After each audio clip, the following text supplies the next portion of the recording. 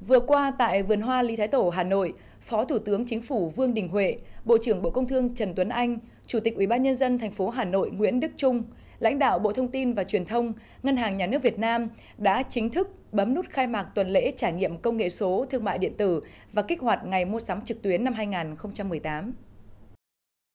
Tuần lễ trải nghiệm công nghệ số và thương mại điện tử là sự kiện mở đầu cho chương trình Ngày mua sắm trực tuyến Online Friday 2018, lớn nhất trong năm của Việt Nam. Sẽ diễn ra trong 24 giờ ngày thứ Sáu mùng 7 tháng 12 năm 2018 với chủ đề Giảm giá siêu chất và chất lượng chính hãng. Phát biểu tại buổi lễ, Bộ trưởng Bộ Công Thương Trần Tuấn Anh cho biết,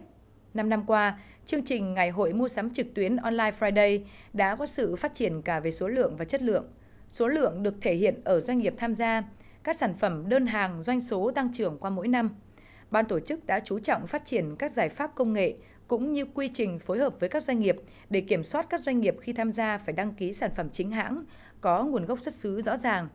Theo thống kê từ ban tổ chức, nếu như năm 2014 tổng doanh thu của chương trình chỉ dừng ở mức 160 tỷ đồng, thì đến năm 2017 tổng doanh số đã đạt 1.223 tỷ đồng với hơn 3.000 doanh nghiệp tham gia. Đặc biệt, với 1,3 triệu đơn hàng được giao dịch thành công trong 24 giờ, tổ chức đã tạo sự lan tỏa trong cộng đồng doanh nghiệp và người tiêu dùng.